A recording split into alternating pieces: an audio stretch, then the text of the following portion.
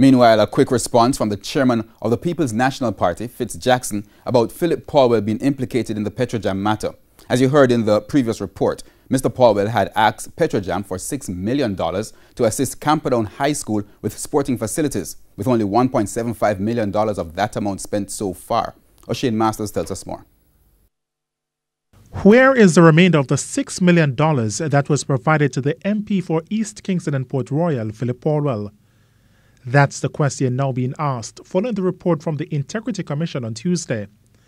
The funds were requested by the MP to help in developing sporting facilities at the Camperdown High School in his constituency, but the report noted that only $1.75 million was spent on surveying and architectural services.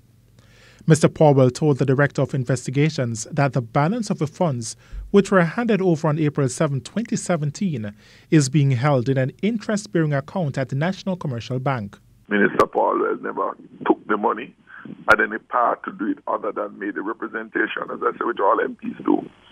And um, the school acknowledged receipt of it, and I, they also provided um, um, documentation for their use of the money.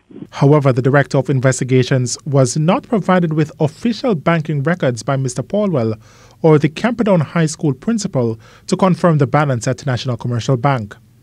On this point, Mr. Jackson says answers to at least two questions are needed from the school administration. The one point something million was spent. Was it legitimately spent by the school?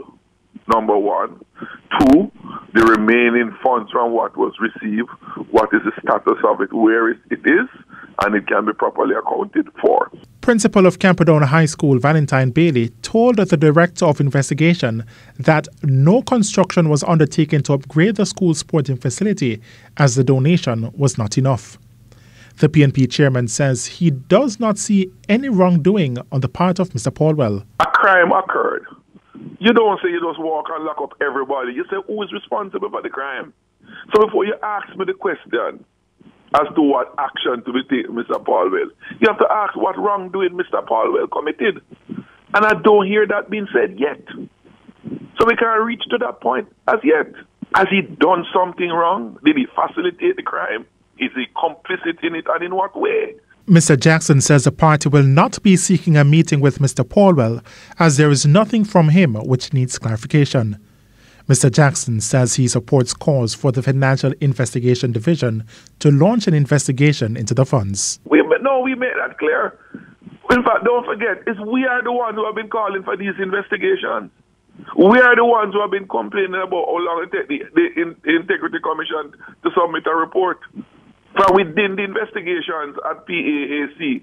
We have called for these investigation, further investigation by the criminal investigation authorities, MOCA, Integrity Commission, and we are the ones who sought to have the um, the, the Auditor General audit the accounts there. They didn't just happen out of the blue. O'Shane Masters, TVJ News. Now, amidst the corruption allegations at Petrojam in 2018, Prime Minister Andrew Holness named a man who was a close friend of at least one of the implicated officials to a team to review the refinery's operations. The Integrity Commission report said Mr. Holness named banking executive Ike Johnson as a member of the Petrojam Review Committee. Mr. Johnson is a close friend of the former Petrojam chairman Perceval Bahadoorsingh. The report said Mr.